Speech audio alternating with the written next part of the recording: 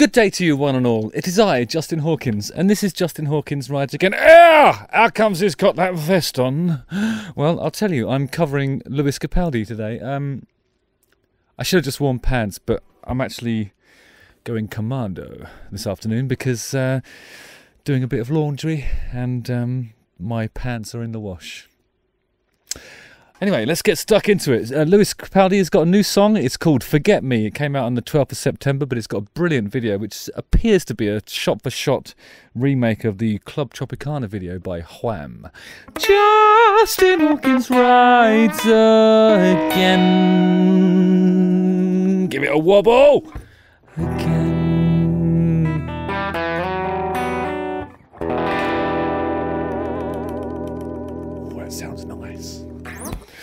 So yeah, here's some uh, comments re- uh, reacting to the Lewis Capaldi song. Joss Ward says this man really just wrote one of the most heart-wrenching songs I've ever heard, and in the music video is sitting drinking a Cosmo by the pool. He has no remorse. That's a great comment, actually. Natalie Jane Wright says he seriously is one of the most genuine artists out there. There's no bullshit with him. His powerful voice and how funny he is, it's impossible to not love him. Um, yeah, I completely agree with those things. I love I love Lewis Capaldi. We were lucky enough to play with Lewis Capaldi at the um, um, Ed Sheeran concerts at uh, Leeds and Ipswich. Somewhat of a homecoming for us. It was just down the road from Lowestoft, where we grew up. Um, and for some weird reason, I don't know how this happened, but we ended up playing after Lewis Capaldi, and he had, in fact, been one of the biggest selling artists of the year up to that point. there was some confusion, you know, not least amongst the, us, you know, um, as to why the bill was such. But uh, he was very gracious about it and a really nice guy, and obviously hilarious and super talented too. Lewis is a Scottish singer songwriter. In 2019, he released his debut album, Divinely Uninspired to a Hellish Extent, which remained at the top of the UK albums chart for six weeks. It later went on to become the best selling album of 2019 and 20 in the UK. But let's have a look at the video. Oh, it's exciting stuff, isn't it? A man in his pants. What could be better? Now, YouTube is telling me to go on holiday. Ah, fuck off with you. Stratos Anti-Hair Wrap Plus to grip and capture all types of hair. uh, and then a special um, a special Hoover that picks up hair that's been shed.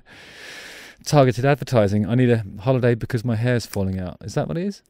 Days aching, nights are long, two years and still you're not gone. Guess I'm still holding on. Okay, so this is pretty cool again, it's an ostinato. Um, I'll explain why. Drag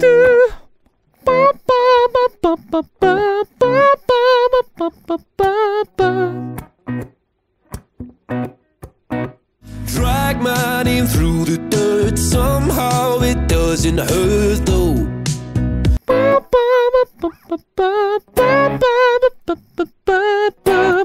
So you can see that the the the ostinato itself is this big.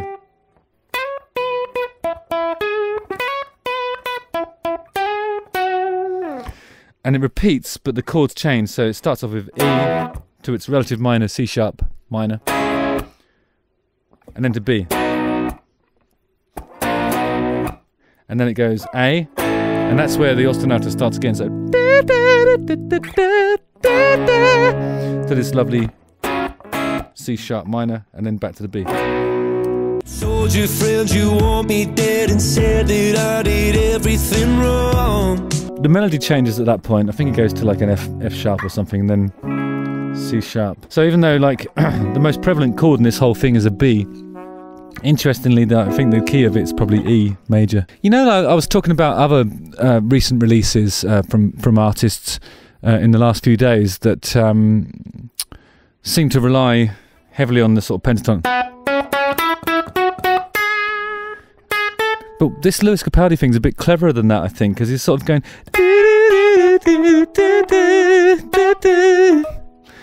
And so he's already using these these little sort of one semitone intervals that don't sit in a pentatonic scale. It's more delicate, spidery, isn't it? It's kind of just a bit cleverer, I think. The way he's sort of weaving his melody. There's more there's more interesting intervals in play. And then when he goes to like this refrain here.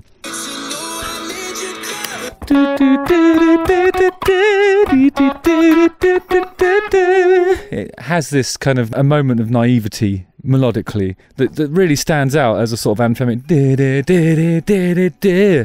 And other artists around him are just are only operating in here, and he's saving that for a big moment towards the end of his chorus. It's really cool.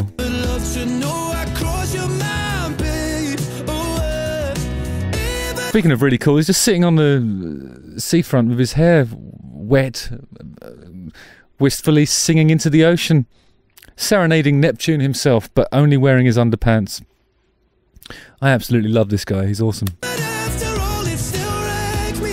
I mean, step, the way his voice rasps and he has this brilliant, brilliant timbre.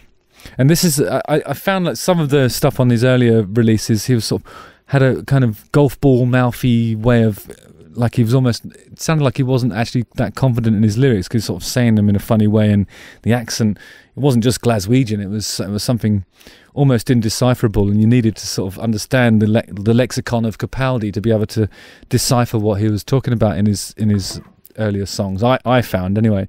But this is like this feels like a really confident lead vocal, and the ecstasy, uh, the euphoria of him showering. I mean, it's just iconic, isn't it? So, uh, what I love about this video is when you're in a band and you love the people you're working with, you always have these conversations like, "Oh, let's let's do a shot for shot remake of insert iconic 80s video here." Um, but Lewis Capaldi hasn't just sat there and talked about it over a few beers. He's gone and fucking done it, and I really, I really respect it. It's just such a great move and really inspiring. And he's done it now, so nobody else can. He owns this, and that's uh, oh, it's inspiring, isn't it? It's just brilliant. I hate to I made you cry, but love to know I cross your mind, babe. I actually think he looks great in all this gear as well. He should definitely do gigs in his pants, and this oversized sort of denim blouson thing is working for him as well. I would even go as far as to say that the straw hat he's added uh, because of the sort of shoulder length hair is kind of it's a lot less uh, man from Del Monte, and uh, actually adds s- something rebellious to that uh, aesthetic. I think this looks good on him. After all, it still wrecks me. He's doing the shaving as well. Now, this reminds me of the Journey video. There's a song called Faithfully, right? In which uh, Steve Perry and Journey are, are on the road. There's a lot of sort of aerial shots of the tour bus, and then there's a bit when he's sort of staring at his, his own reflection and obviously doing some kind of searching inventory of his own soul before shaving his moustache off. It's a really poignant moment. Where I am lost without you. and uh, Lewis Capaldi is having that as well. But uh, I would I would imagine there's probably just something along the lines of bum fluff here that he's extracting here. Although I think that's the only way to improve on Lewis Capaldi is to get a moustache on him. That's it.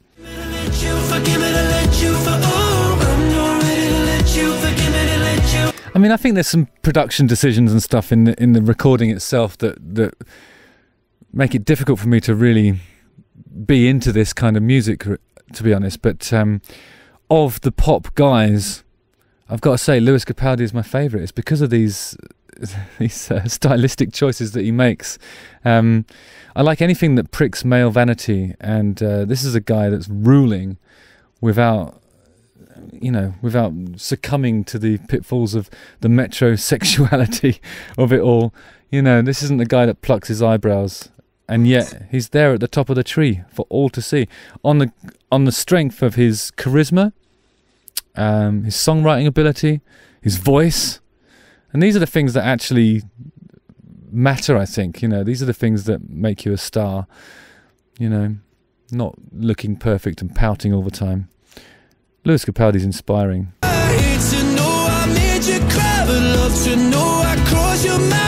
Yeah, this is pretty cool because uh, the the lyrics quite has some duality in it. Really, is sort of um.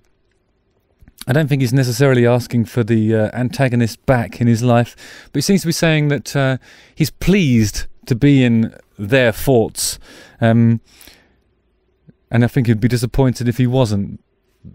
So it's kind of like uh, this is an acknowledgement of uh, a rampaging ego. which is uh, you know, and this rampaging ego is completely undermined by the Club Tropicana reboot, and uh, it's awesome. It really is. That is a really great pop video. Best one I've seen for absolutely ages. Well done, Lewis. If I may call you Lewis, and cheers. Justin Hawkins rides again. Again. Don't forget to like, subscribe, hit the bell for notifications, and watch one of these two videos. All right.